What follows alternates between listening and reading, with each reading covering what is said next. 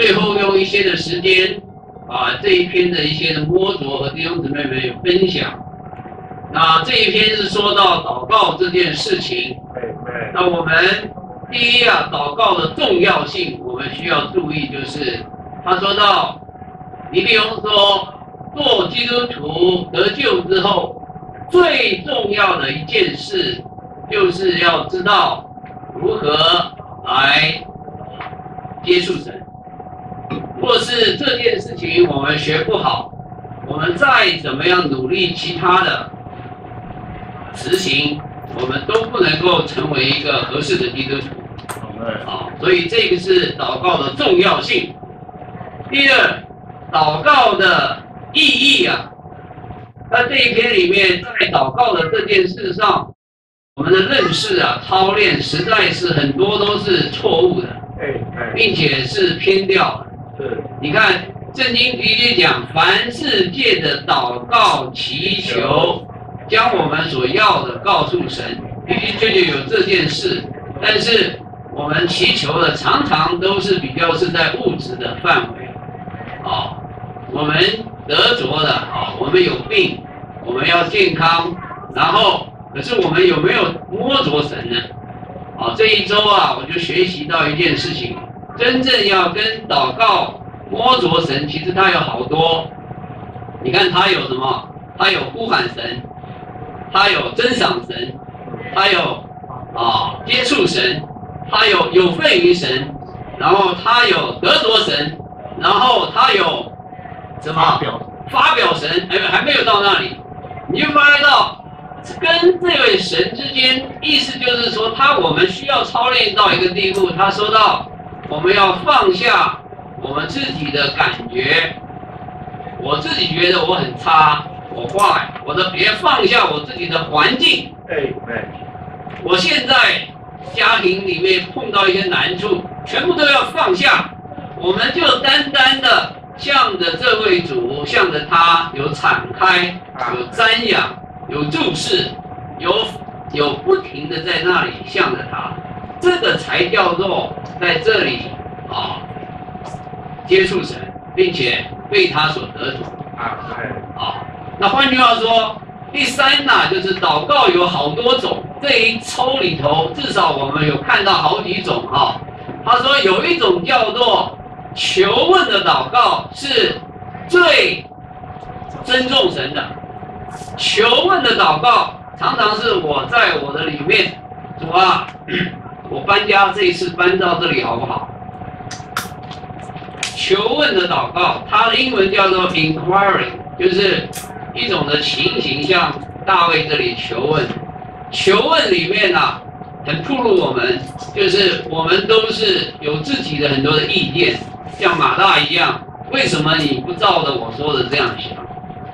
我明明是要那个，啊，你怎么给我那一个？然后我明明现在就要，怎么搞的？你已经等到那个拉萨路死了之后你才来。所以祷告有一种叫做求问，另外一个就很厉害的，就是最高的祷告是什么？最大的祷告是什么？是代求的祷告。代求是 intercede。啊，换句话说。最高的祷告，我很受益提醒，最高最高的祷告，并且是与神同工的祷告，乃是在人把主耶稣啊，把基督当作他是我们的朋友这一个情形里面，那一种的交流啊，就会让神在他的工作里头，我们与他同工啊。哇，我非常受提醒这件事情，为什么？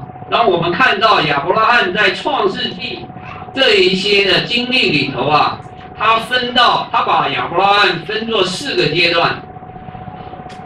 我们以为啊，跟主耶稣之间做朋友祷告，那个是出阶的，那个没什么了不起。其实不是的，亚伯拉罕的经历里面，第一啊，他是认识荣耀的神向他显现，那是他初刚得救而已。第二，他在他生活的困难中。他有生活需要的时候，他要这个时候他看到这个神呐是这个供应的神，这个也不过是第二阶段，第三阶段是慢慢慢慢，他看到他是以利以待，就是他是丰富供应的神，他已经到了这个阶段了。他换句话说，他从前都是为着自己，为着自己的食物，为着自己的保障。从第三阶段他开始，他才知道他要为着神的需要。好，这个也不过是第三阶段哦。到了最后的第四阶段，就是他开始能够啊有一种的带求，就是为着他的肢体有一种的有一种跟神的回应。啊那我觉得我们很需要学，就是你想想看哈，我们得救了这么久，我到底在第几阶段？其实越老练的时候，其实我们乃是越来越顾到有一些教会生活里面那些的肢体，常常带球是什么？带球就是我不只是顾到我，我碰，例如说我感觉魏立兄有需要，我怎么带球？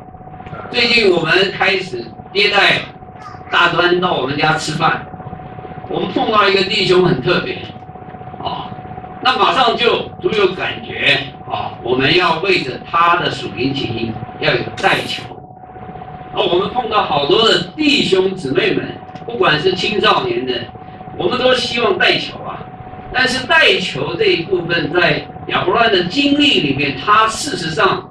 已经到了最顶峰了，他是第四个阶段里头，这个时候他是认识这位主耶稣，这位基督啊，这位神乃是一个朋友，他是带到一个情形里头，完完全全是在人性的基督里头，他和他之间那一切亲密的地步。主啊，我常常很，我们很需要受提醒，就是当我们为着我们的亲，我们自己的下一，我的亲戚朋友，或者我们的姊妹，或是我们的另一半，或是我们的下一代，或是我们为了某一种弟兄、某一种姊妹，我们需要有这种的看见，就是这一种的祷告，真的是需要进到那一种的非常非常人性的里头。好像我们跟这位主之间呢，已经亲密到一个地步，我们能够跟他打交道。主啊，索多玛里面五十个艺人都没有，你可不可以拜托拜托啊？啊，然后四十个好不好？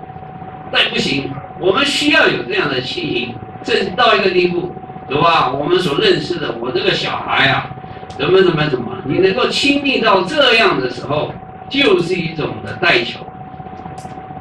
感谢主，所以啊，这种的结果就让我们竟然主在他的过程中间，他这一种的真正在生命和性情上面与他适一啊，我们竟然是在神的工作上与他是合拍的。